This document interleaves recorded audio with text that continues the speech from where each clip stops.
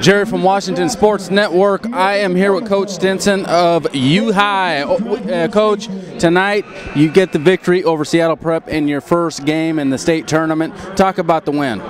Well, we we didn't uh, score too much, but we scored more than them. So uh, you know our defense was pretty good. Um, nerves are always the first day, so hopefully we loosen up tomorrow. We're going to have to. Prairie is a great, great team. Uh, and and what will you do to prepare for Prairie? Well, a lot of praying, and then after that, we're just going to try to do the best we can and keep them in front of us. They're just they have a lot of weapons.